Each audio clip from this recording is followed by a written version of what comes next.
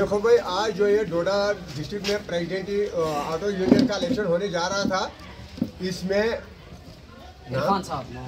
मोहम्मद इरफान ने तीस वोट हासिल किए। जबकि अमनुल्लाह खान। खान ने इकहत्तर वोट हासिल किए हैं। हमारे हिसाब से इकतालीस वोटों से अमानुल्लाह खान जीत गए। जीत गए हैं।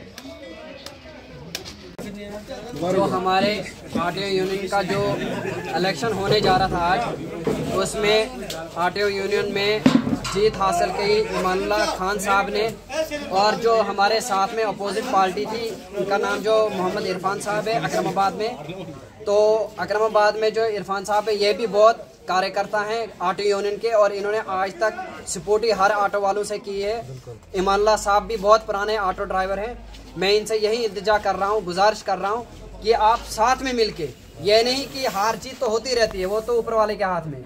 इरफान साहब से भी मैं गुजारिश करना चाहता हूँ ईमानुल्लाह साहब से भी गुजारिश करना चाहता हूँ। इरफान साहब, आज के बाद वाइस प्रेसिडेंट रहेंगे और यही हमारी, हम हम तक था आज कि हम यही कोशिश करेंगे कि जनाब इमानुल्लाह साहब अगर जीत गए तो यही प्रेसिडेंट बनेंगे। अगर इरफान साहब जीत गए तो यही प्रेसिडेंट दो में से वाइस प्रेसिडेंट एक न एक बन जाएगा। अब दो में से दो एक वाइस प्रेसिडेंट बनेगा, अपने साथ में चलेंगे और इंशाल्लाह मुझे उम्मीद है इमानुल्लाह साहब खान से कि जनाब ये आज के बाद अच्छा काम करेंगे। रहीम नाव अमानुल्लाह खान बहुत आटो ड्राइवर अख बहुत वनकन वोथमुत यन यूनियनस खतर अह परेशानी वाराहन जायन मुश्किल आमत हल कर तम। तथ खतर वोथमुत इन बायन हज मुश्किल कुन फिटनस प्रॉब्लम कुन मीटर सेल हज प्रॉब्लम। तमिश कुन तिथ चालान गसान हंग तो मंगत चालान ये मज तुथ सिस्टम तो त्यूतः ना चालान गसान तम कि मूजूब वथमित वनकस जहन की वजह सह मसल हल कर सपोर्ट ज़रूरत आर टी ओ सोबन ज़रूरत डी सी सोबन ज़रूरत बे क्या वन एग्जीक्यूटिव सोब यहद क्या मसल स्टैंड वटैंड हल कर तो अमि मूजूब वथमित आज मोहम्मद इरफान। इलेक्शन की ज़रूरत हमें इसलिए पड़ी कि जो हमारे डी सी साहब ने स्टैंड दिए थे, हमें बहुत दिक्कत होती है स्टैंडों पे प्राइवेट व्हीकल्स लगते हैं वहाँ पे।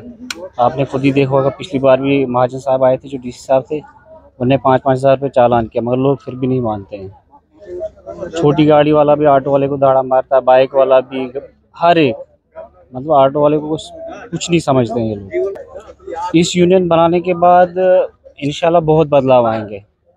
पहला बदलाव तो ये होगा कि विदाउट यूनिफॉर्म कोई ड्राइवर नहीं चलेगा। दूसरी बात ये होगी कि जो गाड़ियाँ फॉलो लगती है रोडों में, जिसकी वजह से जाम लगते हैं, वो नहीं होगा। स्टैंडों पे गाड़ियाँ लगेंगी। स्टैंड रिकोगनाइज होंगे। जो भी जितने भी ऑटो हमारे दो ढाई सौ ऑटो हैं, हर एक को स्टैंड दिया जाएगा।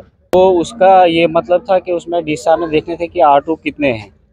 टोटल ऑटो कितने और कितने रेगुनाइज हैं, किसके कागज़ ड्यू है, किसके कागज़ रनिंग में है, वो देखना था कि कितने ऑटो है और उसके वो, उसके बाद उसको डिवाइड करना था हमें कि जैसे एक से लेकर दस तक ऑटो एक स्टैंड में लगेंगे, एक से पंद्रह दूसरे स्टैंड में ऐसे डिवाइड करने थे। इसलिए सीरियल नंबर लगा था।